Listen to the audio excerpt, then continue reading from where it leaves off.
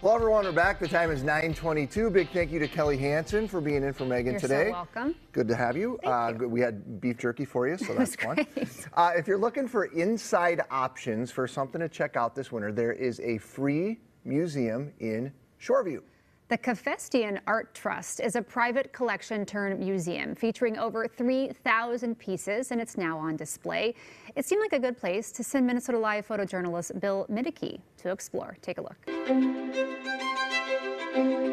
Hi, my name is Andy Schlauch. I'm the Executive Director of the Cafesjian Art Trust, and uh, welcome. I'd love to show you around. One of the first things you're going to see when you walk into our lobby is our beautiful Cafesjian chandelier created by Dale Chihuly in 1994. It was originally created for Jerry Cafesjian's home in Scottsdale, Arizona, and it is normally designed to be in a much higher ceiling, but we love being able to have this in-person connection where you can walk up to the piece and really get to see the details. Another one of the pieces you'll see in our lobby is this sculpture named Art by Marc Sijan. Uh, as you can see, it's an incredibly realistic sculpture of a human-like figure in the circumstances of being a security guard. Uh, by far and away, a fan favorite. Above me we have what is called the pergola ceiling. It was designed by Dale Chihuly in 1999 and was originally installed over Jerry Cafesjian's dining room table in Naples, Florida. Uh, when we uh, moved to this new location here in Shoreview, we created a room so that we could reinstall it and allow the guests to experience this amazing under the sea feeling that you get. The Cafesjian Art Trust is essentially a museum dedicated to housing and showcasing uh, one man's personal collection of art and decorative objects, and that's Gerard Cafesjian. He began collecting based on an early passion for art that he had ever since he was a kid. When he passed away in 2013, the family uh, wanted to bring all of the collection back to Minnesota. One of the many things that we have in our archives and collection is this wonderful portrait of Jerry Cafesjian with Dale Chihuly back in the 90s. The show is called A Lasting Friendship for a reason.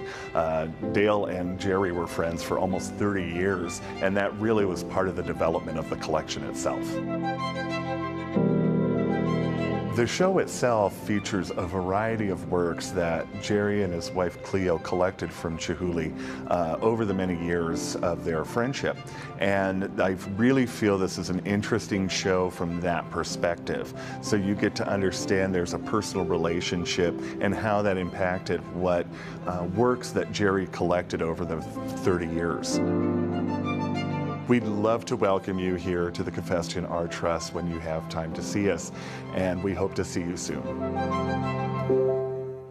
That's pretty. That is beautiful. So I went to the Chihuly Gardens in Seattle a few Yeah. years ago, took Twin Cities Live viewers there, and it's just the same stuff. I mean, it's the same artwork, so you get to experience it right here in the Twin Cities. We, I, Really uh, we used to live in Seattle, and the Chihuly stuff's everywhere. And he lives right next to the uh, what's called the Woodland Park Zoo, and you just kind of walk by his house if you park park at the zoo, which is sort of weird too. He's still living. yeah.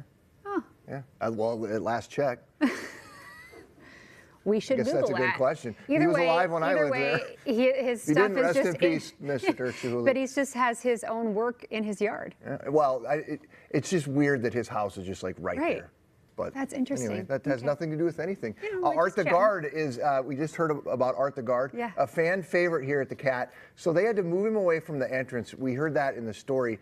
But uh, visitors and delivery drivers, they were getting upset because the guard wouldn't answer the door. Like they, they could look in and see him, they could see Art there. Uh, th- they thought he was sleeping or perhaps having a, a Well, yeah, I wonder if they've called 911 before. It's a- that is, it's super weird.